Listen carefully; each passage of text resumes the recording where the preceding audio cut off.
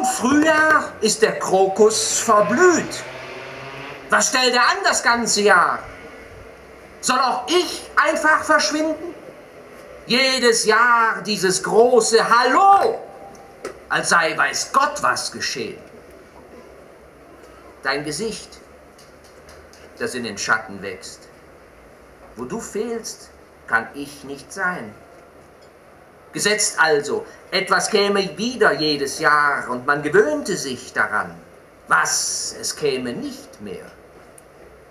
Jeden Morgen beobachte ich den Krokus.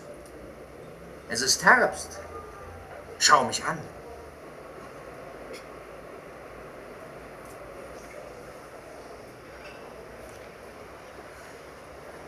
Immer Krisensitzung und nichts verfugt. Es ist ja nichts Ernstes, nur für den Fall, also unwahrscheinlich.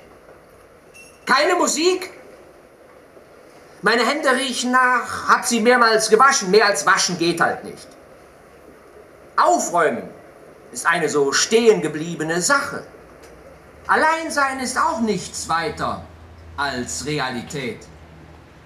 Beginne mich für die Tapeten zu interessieren. Denke an das Wort rudimentär. Kannst du mich erlösen? Kannst du wohl auch nicht. Dafür ist der Erlöser ja da. Kann kommen. Tür ist offen. Ich liebe dich. Lass nicht ab von mir.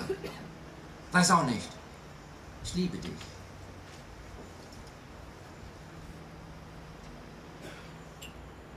Du bist die lotlose, die unberührte Verschwindung, die zerreibende, aufreißende Verschwindenheit. Du bist so fallweise.